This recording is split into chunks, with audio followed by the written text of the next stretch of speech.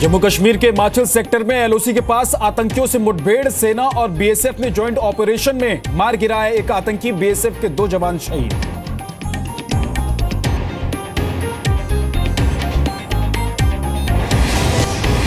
दलित उत्पीड़न पर मायावती ने पीएम मोदी पर साधा निशाना कहा संसद के बाहर नहीं अंदर दे बयान। कांग्रेस ने लोकसभा से किया वॉकआउट। दलितों के साथ उत्पीड़न हो रहा है उसके संबंध में इनको अपना जवाब देना चाहिए। पंद्रह अगस्त से पहले दिल्ली में बड़ी टेंशन, भारत घूमने आए पाकिस्तानी दल से एक नागरिक। लापता सुरक्षा एजेंसियाँ अलर्ट, दस दिन बाद भी कोई सुराग।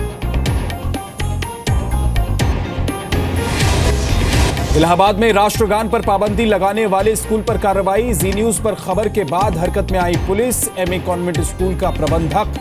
जियाउल हक गिरफ़्तार, स्कूल को भी बंद करने का आदेश।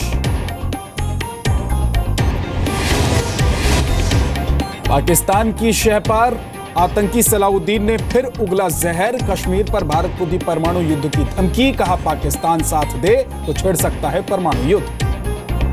मेरी जंग छिड़ने का कभी इम्कान है। रियो से आई खुशखबरी जिमनास्ट दीपा करबाकर का क्वालिफाइंग मुकाबले में प्रदर्शन शानदार।